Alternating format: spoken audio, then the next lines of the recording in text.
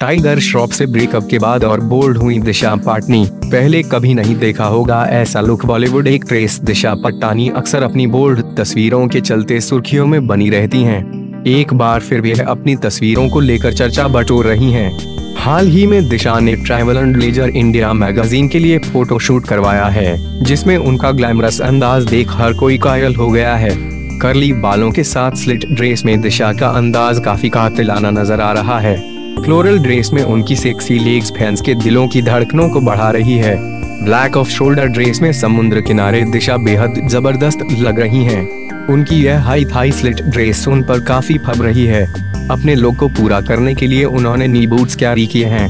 इस तस्वीर में Disha red off shoulder short dress में बेहद खूबसूरत दिख रही हैं।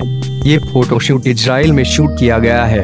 उनकी ये तस्वीर इजराइल की किसी लोकल मार्केट में फ्रूट शॉप के बाहर की है। दिशा की ये सारी तस्वीरें मुंबई के फोटोग्राफर तारस तारापोरवाल ने खींची हैं और मशहूर स्टाइलिस्ट मोहित राय ने उन्हें स्टाइल किया है। दिशा पट्टानी के वर्क फ्रंट की बात करें तो इस समय दिशा सलमान खान की फ़िल्म भारत की शूटिंग कर रही है। दिशा भारत फ़िल्म में सर्कस आर्टिस्ट की भूमिका में नज़र आएँगी।